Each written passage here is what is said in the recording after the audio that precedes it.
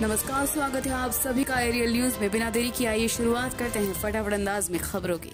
करीब 40 दिनों से दिल्ली की सीमाओं पर सैकड़ों किसान केंद्र सरकार द्वारा बनाए गए तीन कृषि कानूनों के खिलाफ धरने पर बैठे हुए हैं।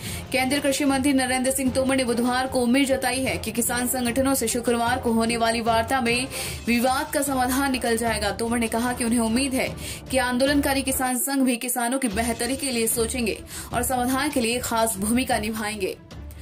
देश की सर्वोच्च अदालत ने बुधवार को उत्तर प्रदेश और उत्तराखंड में लागू विवादित लव जिहाद कानूनों पर रोक लगाने से इनकार कर दिया है। हालाँकि इस मामले में सुप्रीम कोर्ट सुनवाई के लिए तैयार हो गया है और चार हफ़्ते बाद इसकी सुनवाई की तारीख भी दे दी गई है। कोविड वैक्सीन का दूसरा ड्राई रन 8 जनवरी को पूरे देश के सभी जिलों में होगा। वैक्सीनेशन के लिए पहला ड्राई रन 28 और 29 दिसंबर को।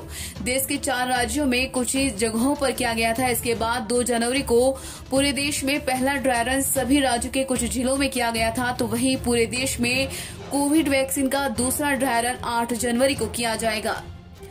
कोरोना महामारी के चलते पिछले साल मार्च में घोषित लॉकडाउन के बाद पंजाब पहला ऐसा राज्य बन गया है जो पांचवी से कक्षा बारहवीं तक के स्कूल खोलने का निर्णय ले चुका है। पंजाब के शिक्षा मंत्री विजय इंदर सिंगला ने बुधवार को अभिभावकों की मांग पर राज्य सरकार ने गुरुवार से सभी सरकारी सेमी गवर्नमेंट और निजी स्कूलों को खोलने का फैसला लिया है।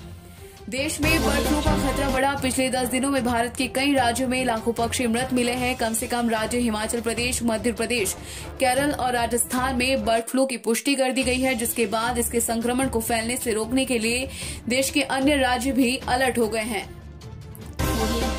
ने तमिलनाडु सरकार से सिनेमाघरों में 100 प्रतिशत दर्शक क्षमता वाला आदेश वापस लेने को कहा। बता दें कि तमिलनाडु की इके पलानीसामी सरकार ने 4 जनवरी को सिनेमा हॉल पर लगी 50 प्रतिशत दर्शक सीमा को हटाकर पूरी क्षमता के साथ खोलने की अनुमति दे दी थी।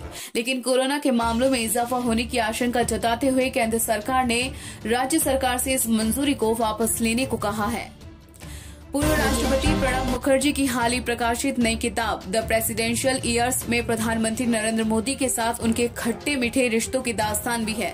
इस किताब में सोनिया गांधी और प्रधानमंत्री नरेंद्र मोदी समेत कई नेताओं का ज़िक्र करते हुए कई चौंकाने वाली बातें भी लिखी गई है। संग्राम के बीच 14 जनवरी को नेपाली विदेश मंत्री प्रदीप ग्यावली भारत दौरे पर नई दिल्ली आएँगे। भारत नेपाल के बीच संयुक्त आयोग की यह छठी बैठक होगी। साथ ही दोनों देशों के बीच कई अहम समझौतों की भी उम्मीद जताई जा रही है। ब्रिटेन के प्रधानमंत्री बोरिस जॉनसन ने कोरोना वायरस के नए स्ट्रेन से पैदा हुए संकट के बढ़ते रहने के कारण 26 जनवरी के गणतंत्र दिवस समारोह पर भारत की अपनी निर्धारित यात्रा रद्द कर दी है। साथ ही प्रधानमंत्री मोदी से महामारी की स्थिति के कारण दौरा रद्द करने के लिए खेद प्रकट किया है।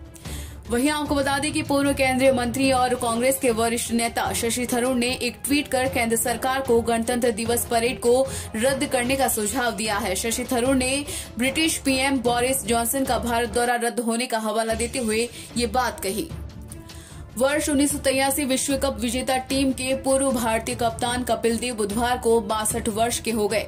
उनके जन्म दिवस पर सचिन तेंदुलकर और विराट कोहली समेत कई दिग्गजों ने उन्हें बधाई दी है। आज फ़िलहाल इतना ही। देश की तमाम खबरों से अपडेट रहने के लिए आप देखते रहिए।